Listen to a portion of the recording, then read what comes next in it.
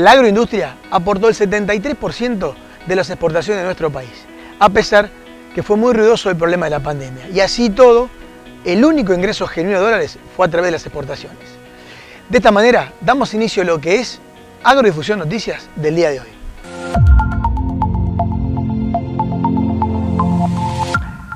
Como todos saben, este año Agroactiva será virtual y será del día 27 al 30 de octubre. Conversamos con su responsable de prensa y comunicación, Mariano Rossi, quien nos cuenta más detalles de lo que será el evento. Buen día, gracias por, acompañarnos siempre a Agroactiva.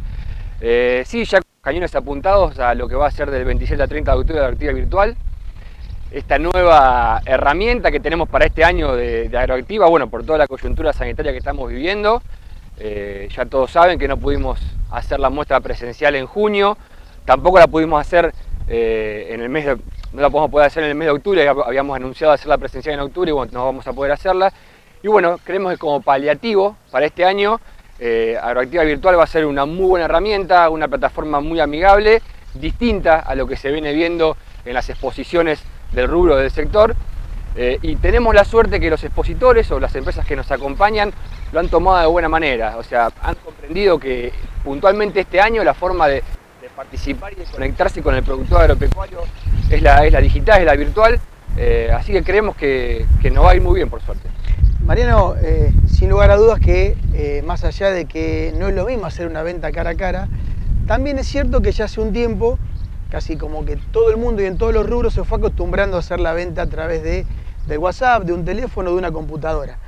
Ahora, para una persona que vende una maquinaria agrícola que comúnmente eh, hizo algo nuevo, algo novedoso en su fábrica y lo quiere presentar en obra activa, seguramente tiene algún prurrito a la hora de decir, me encantaría poder mostrársela al productor, porque además el productor va todos los años a obra activa a mirar el fierro nuevo.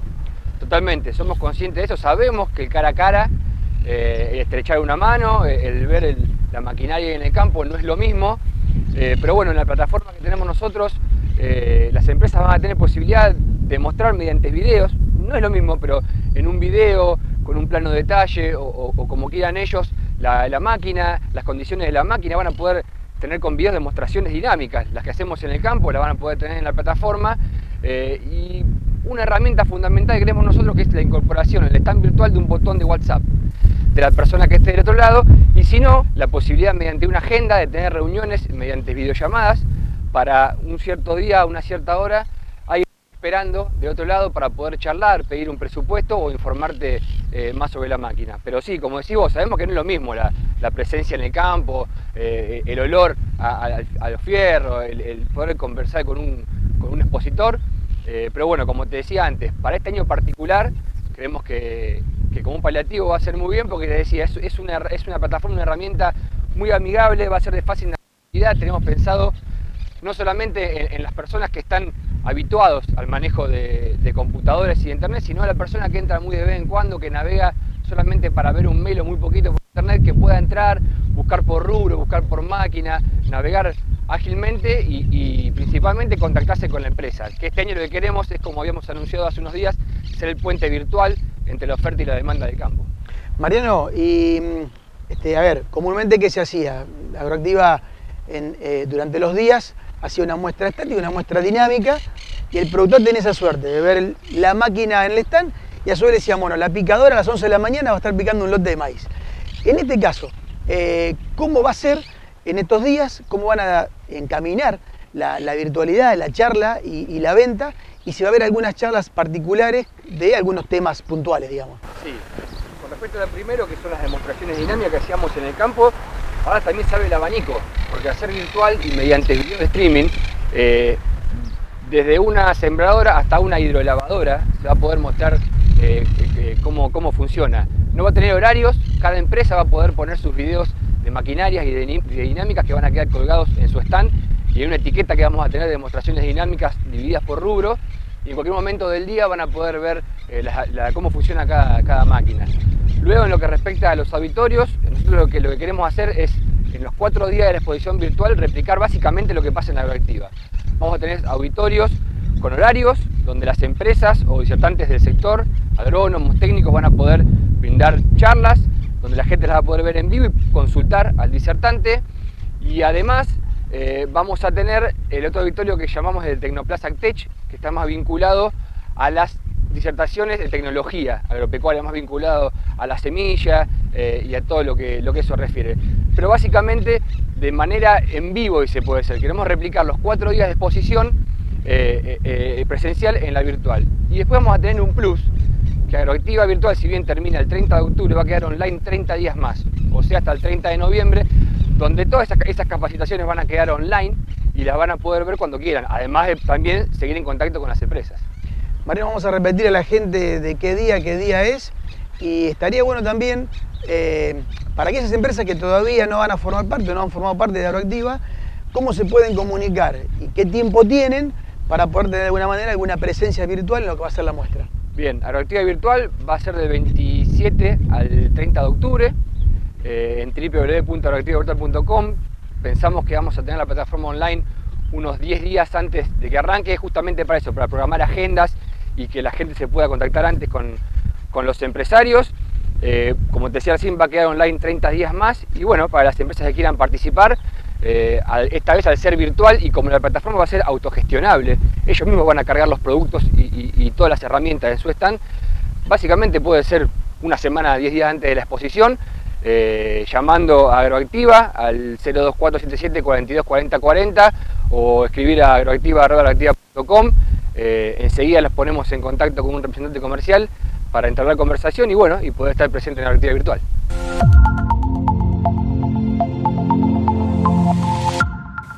Según FADA, el nuevo monitor de exportaciones sirve para saber en la Argentina qué es lo que va a ocurrir de aquí hasta el mes de diciembre donde seguramente la economía mundial será desplazada y para la Argentina lo mejor será la diferencia cambiaria. La única forma que tiene el país de poder generar dólares genuinos es a través de la exportación. Primera pausa y enseguida volvemos con mucha más información.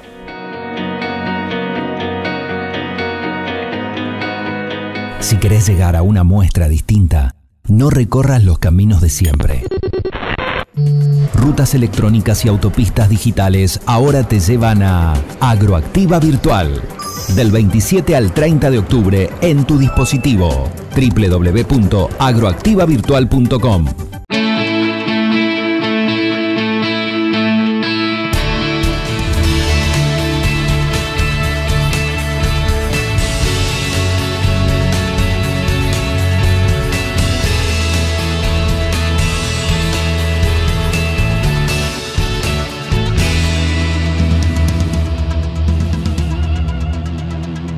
Somos KWS y tenemos una clara visión. Ser a través de nuestra semilla de calidad y conocimiento en agricultura la empresa confiable para los productores a lo largo de las generaciones, sembrando el futuro desde 1856.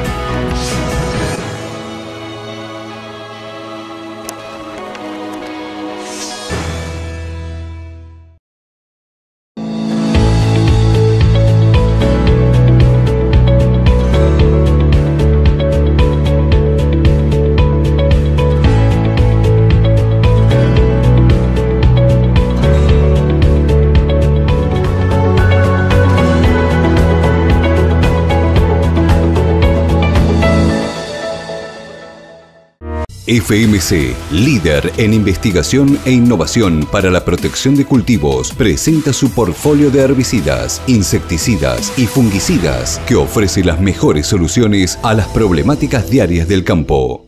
En Bayer, el futuro de la agricultura lo hacemos juntos y lo hacemos con innovación, sustentabilidad y transformación digital en beneficio de los productores, de los consumidores y del medio ambiente. Bayer, ciencia para una vida mejor.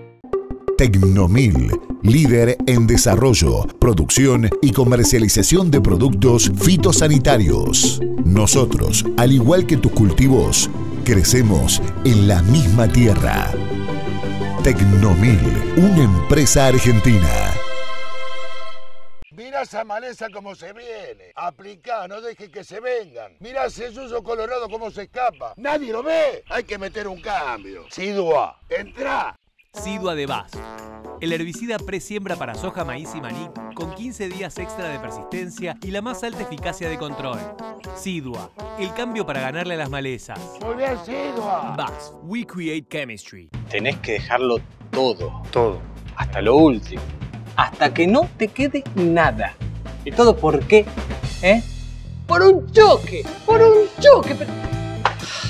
¿Vos me entendés, Juan Martín? Ahora tengo que pagar una fortuna, me quiero matar. Eh, bueno, yo te dije que llames a mi productor.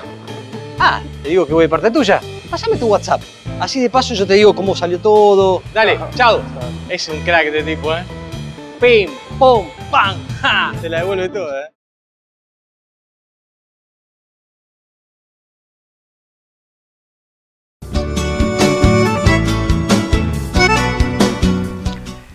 A pesar de todos los inconvenientes que está trayendo la pandemia, se está organizando el primer Congreso Argentino de Semillas.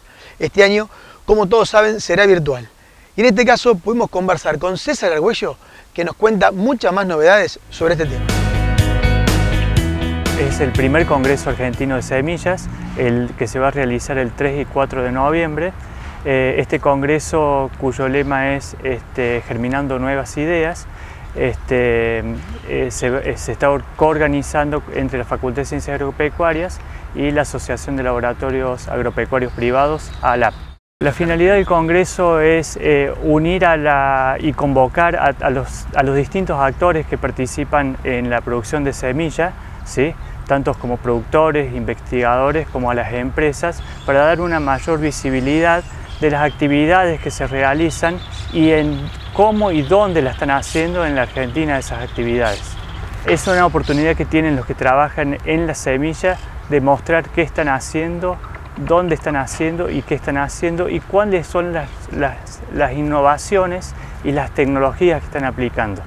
El, el Congreso está, va a estar organizado en cuatro ejes o bloques temáticos eh, la sanidad eh, de semillas y la seguridad alimentaria, eh, la genética de las semillas relacionadas a las especies y variedades, este, la calidad de semillas, la producción de semillas y las innovaciones tecnológicas que se están realizando y también va a haber foco en, lo, en el marco legal presente y futuro que se avisora en la Argentina.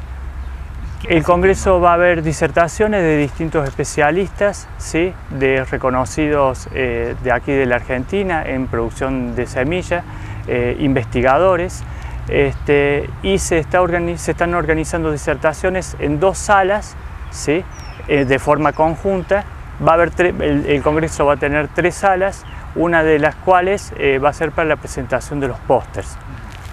Este, Además, este, eh, dichos pósters se, se está convocando a la, a la, presentación de resúmenes hasta el 31 de agosto, que es la fecha.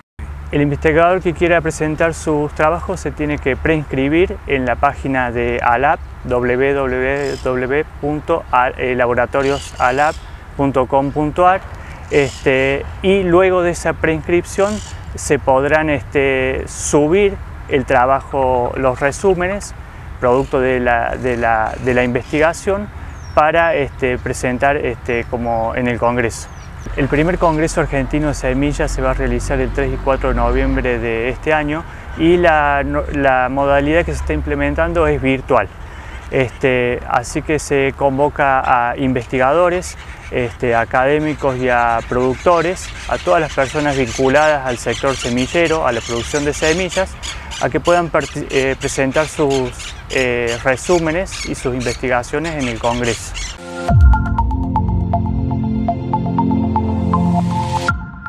Las provincias de Chaco, Salta y Formosa son de las tres provincias más afectadas por la peor sequía de los últimos 20 años. Y para que tengan en cuenta la importancia de lo que estamos hablando, hay lugares de Chaco que la última lluvia se recibió en el mes de octubre del 2019. Segunda pausa y ya volvemos con mucha más información.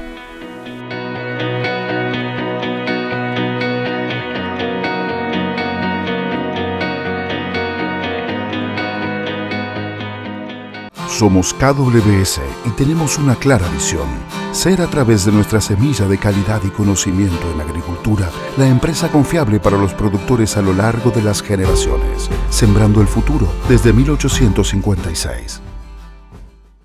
Tecnomil, líder en desarrollo, producción y comercialización de productos fitosanitarios. Nosotros, al igual que tus cultivos, crecemos en la misma tierra. Tecnomil, una empresa argentina.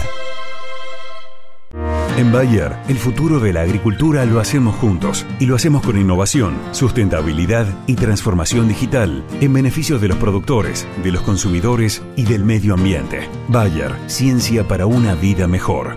Paga tus boletas municipales sin salir de tu casa. Ingresa a www.pergamino.gov.ar barra online. Hace clic en el botón de consulta y liquidación de tasas. Selecciona el servicio que quieras pagar. Completa los datos con la información de tus facturas anteriores y hace clic en Mercado Pago. También podés abonar desde la app de Mercado Pago y desde tu home banking a través de RedLink o Pago Mis Cuentas. Cuando pagas tus tasas municipales, ayudas a que Pergamino siga funcionando. Cumplir con el pago de tus tasas beneficia a todos. Quédate en casa. Es un mensaje de la Municipalidad de Pergamino. Si querés llegar a una muestra distinta, no recorras los caminos de siempre. Rutas electrónicas y autopistas digitales ahora te llevan a Agroactiva Virtual. Del 27 al 30 de octubre en tu dispositivo. www.agroactivavirtual.com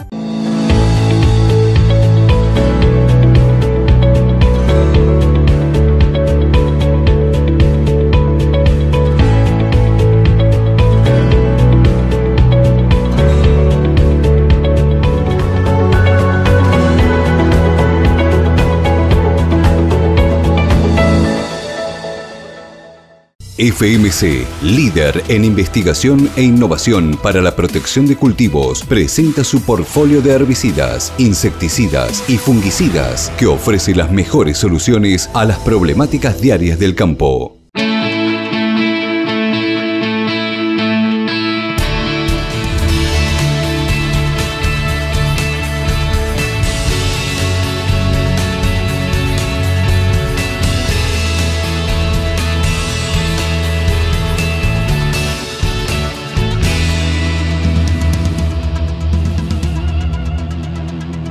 Esa maleza como se viene. Aplicá, no deje que se vengan. Mirá ese suyo colorado como se escapa. Nadie lo ve. Hay que meter un cambio. Sidua, entra. Sidua de Vaz. El herbicida presiembra para soja, maíz y maní con 15 días extra de persistencia y la más alta eficacia de control. Sidua, el cambio para ganarle a las malezas. Muy bien, Sidua. Vaz, we create chemistry.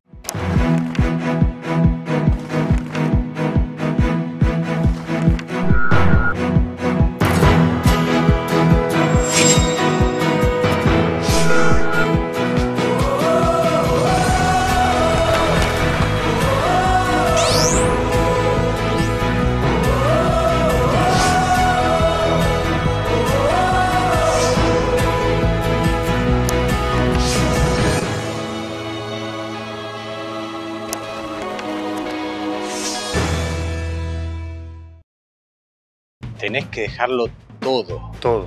Hasta lo último. Hasta que no te quede nada. ¿Y todo por qué? ¿Eh? Por un choque. Por un choque. pero- ¿Vos me entendés, Juan Martín? Ahora tengo que pagar una fortuna. Me quiero matar. Eh, bueno, yo te dije que llames a mi productor. Ah, te digo que voy de parte tuya. Pásame tu WhatsApp. Así de paso yo te digo cómo salió todo. Dale, chao. Es un crack este tipo, ¿eh? Pim, pum, pam, ja. Te la devuelve toda, ¿eh?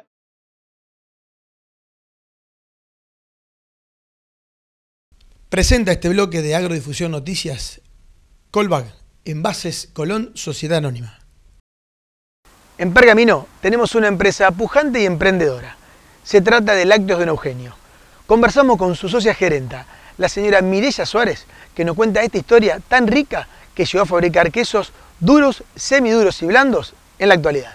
Don Eugenio nació por allá, por el 1996, también en una época de crisis, en una época complicada, Nosotros en ese momento teníamos los chicos chicos, cuatro hijos, y nos dedicábamos a, otras tareas.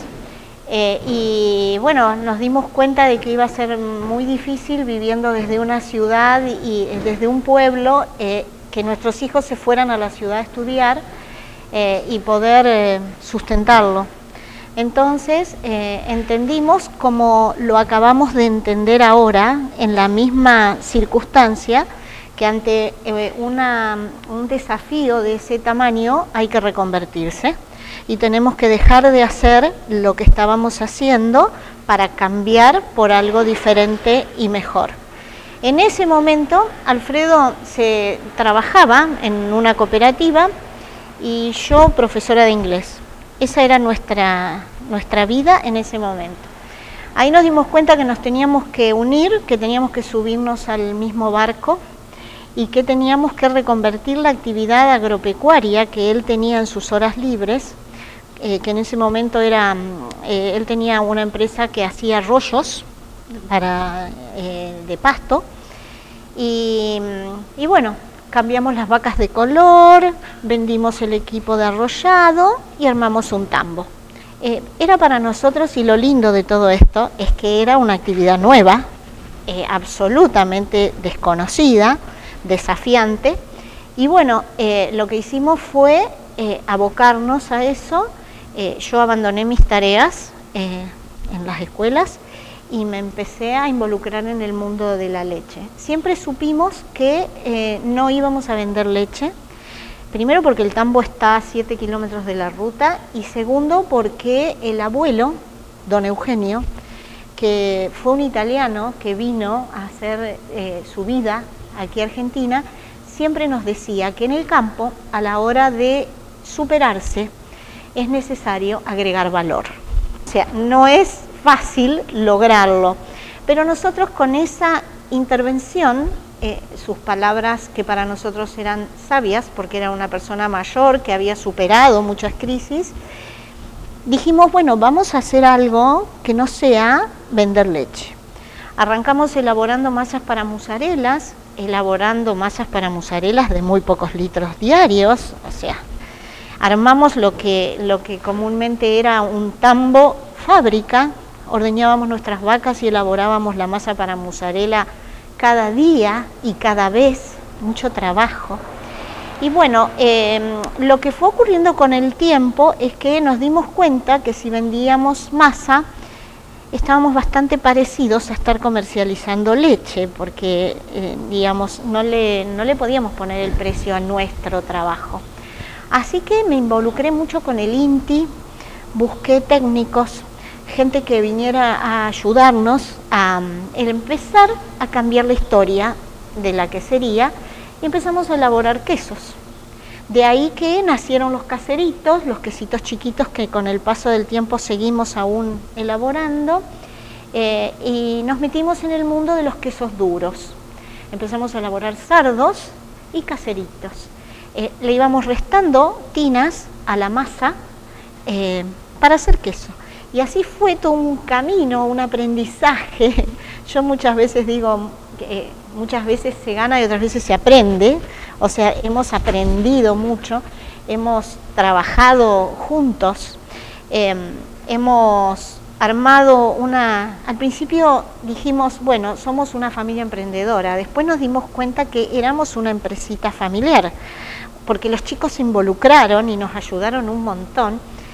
Después de todo este primer desafío, eh, yo les puedo decir que el sueño ahí, el primer sueño se cumplió, porque los chicos pudieron estudiar en las ciudades que quisieran, eh, las carreras que quisieran y eh, volvieron hoy profesionales a la empresa. Ellos están aportando su trabajo, que para nosotros es un orgullo, por el cual le pudimos pagar sus estudios. Así que... Ahora, Mirella, esa parte es fantástica en la historia en sí, porque empezar tan despacito y solamente con un tambo, con una base ganadera, como bien contaste que, Alfredo tenía, que en realidad fabricaba arroyo pensando en la ganadería, y llegar a hoy a haber industrializado una marca propia y para quienes no te conocen contar con tantos locales hoy en la ciudad de Pergamino, con ese expendio directo, evidentemente fue un paso este, muy complejo, pero también riquísimo, porque del, abuelo que contó, agreguen valor a hoy una cadena vertical terminada, imagino que están más que satisfechos. Pero vos fíjate que nosotros hubo un momento en nuestra vida de trabajo que nos dimos cuenta que teníamos que estar muy enfocados en la producción de queso, pero también teníamos que enfocarnos en la comercialización. Porque es en vano trabajar mucho, hacer muy buen producto y venderlo mal. Entonces, la idea no es elaborar más litros de leche, más cantidad de litros de leche. La idea es estar conscientes de que todos los litros de leche que don Eugenio recibe están bien vendidos. Nosotros pusimos un local de venta de quesos dentro de la terminal de Pergamino pensando en que, bueno, era una experiencia, no sabíamos si íbamos a vender queso en la terminal. Eso nos fue despertando la idea de que vender directo al público es el mejor modo para las dos partes. Nosotros evitamos toda una intermediación y la gente, los consumidores, se sienten favorecidos porque obtienen el mejor precio, digamos. O sea, los quesos eh, siempre tuvieron los mejores precios y no porque, eh, porque sean baratos, simplemente porque están sin intermediación. Entonces, ¿cuál fue la cuestión? Replicar. Replicar en la ciudad. Y bueno, gente de marketing nos explicó un día que, nosotros teníamos que eh, sacar la cuenta, la cantidad de kilos de queso que vendíamos en la ciudad y bueno, y con respecto a la cantidad de habitantes que hay en la ciudad, y en un momento teníamos tres locales en la ciudad y eh, nos dijeron, bueno, no, pero ustedes le están vendiendo tres gramos de queso a cada pergaminense, pongan locales. Cuando para nosotros tres era mucho ya, ¿viste? Y bueno, seguimos. ¿Y qué fue lo que hicimos? Em, instalamos presencia de don Eugenio en los barrios, de cercanía, de, digamos, la gente de Pergamino tiene acceso a los productos de don Eugenio donde viva medianamente. Entonces, esto es lo que en su momento y sin saberlo, nos damos cuenta hoy, nos favorece con la venta de la leche, por ejemplo. Lo que estaría bueno contarle también a la gente, primero, a cuántos locales estamos hoy, cuántos locales tienen hoy este, al mes de septiembre del 2020. Y segundo, cuántos productos han logrado y subproductos de empezar con esos este, litros de leche en el tambo y hoy este, cuántos productos tiene el el consumidor de pergamino para poder adquirir? Mira, nosotros em, todo nos fue llevando porque al instalar las queserías eh, y al decidir vender nuestros productos y no otros, fuimos creciendo en la variedad de productos para que nuestras queserías estén lo más completa posible en la variedad de productos. Entonces, yo te cuento que incursionamos en los quesos duros de, entrada en la elaboración, pero después nos metimos en la vida de los semiduros y en los blandos. Entonces, en nuestras queserías, medianamente, encontrás una gran variedad de, quesos eh, de las tres masas que los fuimos sumando en el tiempo. O sea, si vos me decís hoy, estamos haciendo una eh, variedad interesante de quesos que hacen que nuestras queserías sean los lugares que si vos te querés comer una buena picada no te va a faltar nada para, para encontrarla. Tenemos hoy en la ciudad siete queserías y hay nueve puntos de venta de Don Eugenio porque le sumamos las dos carnicerías muy de campo, que ahí es donde nuestro hijo también vende nuestros quesos, como nosotros vendemos en nuestras queserías sus fiambres.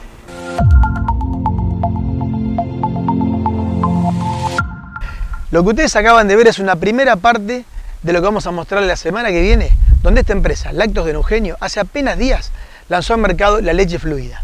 Con ustedes nos volvemos a encontrar dentro de siete días. Gracias por acompañarnos una semana más. Esto ha sido Agrodifusión Noticias.